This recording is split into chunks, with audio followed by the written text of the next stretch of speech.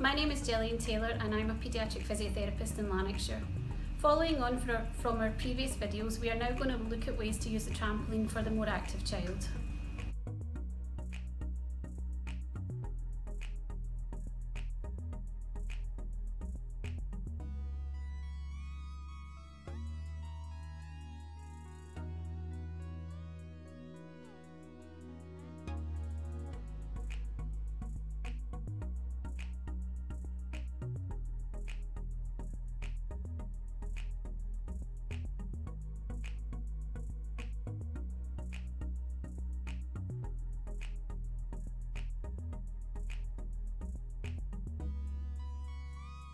If you're working with your child on their hands and knees, just try and remember that they should have their back straight at all times and that they shouldn't have stick their bum in the air so that there's a dip.